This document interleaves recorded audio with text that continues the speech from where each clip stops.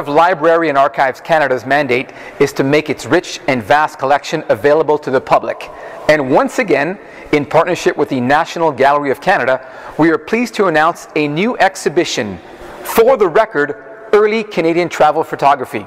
The exhibition explores 19th century photographs with travel and tourism during that era. Uh, for the Record is an exhibition of 19th century photographs that look at that era's interest and experience with uh, travel and tourism. Tourist travel was still new in Canada at the time, and photography was used as a way to attract visitors as both promotional material and as souvenirs. Um, later on, when personal cameras became cheaper and easier to use, amateur photographers started taking their own travel shots. Uh, this exhibition shows us how photography was used in the 19th century tourist industry and also gives us a glimpse of how those early travelers saw these places that we now identify as icons of Canadian scenery. So, uh, popular tourist destinations in the 19th century included um, buildings and monuments like Ottawa's Parliament buildings and the Citadel at Quebec City.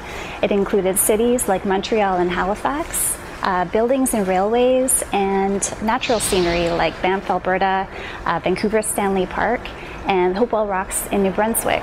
This exhibition uh, features many of these places and includes, of course, the ultimate tourist destination, Niagara Falls, which even in the 1850s was a busy, bustling scene contrasting um, busy commercialism with wild nature.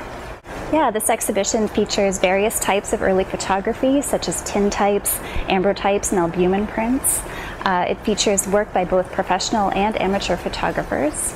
We've also included a wonderful travel album from 1845 that, along with the notes and writing, includes photographs that were glued in and had been collected along the traveler's route.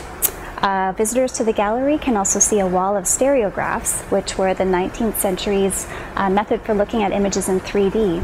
Visitors can see the original stereos and can also use our modern stereo viewer to get the full effect. The exhibition is on display at the National Gallery of Canada from March 6th to August 30th, 2015. And remember, you can also check out the exhibition on the National Gallery of Canada website, the blog entry, and the Flickr set on the Library and Archives Canada website. Richard Provencher for Library and Archives Canada.